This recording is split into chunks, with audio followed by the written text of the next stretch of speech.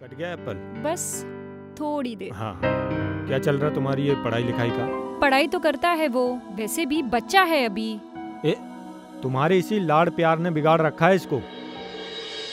हम्म, अभी ये बताओ क्या खाओगे तुम? मैं तो मौसम्बी का जूस पीऊँगा। ये लो तुम्हारे मौसमी वैसे तो तुम रात भर घोड़े बेच के सोते रहते हो और रात को घोड़ों को आराम देता हूँ ताकि दिन में वो बहुत तेज दौड़ सके है ना? आप ना बहुत अच्छी डॉक्टर हो। भैया आएँगे तो मैं भैया को भी बोलूँगा कि आपने मेरा मुँह में लेके इलाज किया।